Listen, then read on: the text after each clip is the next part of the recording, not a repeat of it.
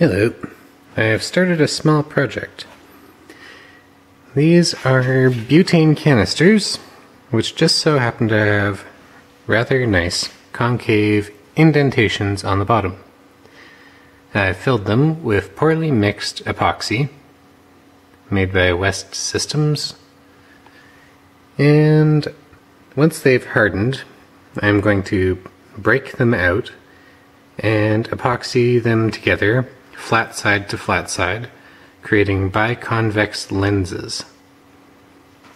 The effect should be similar to this first attempt.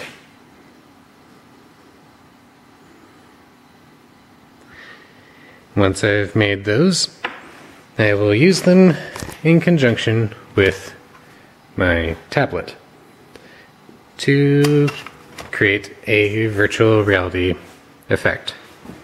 That is the cardboard application.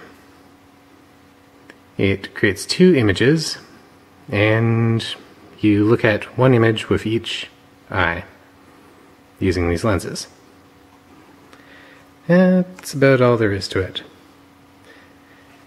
Also, I used another canister as my mixing cup.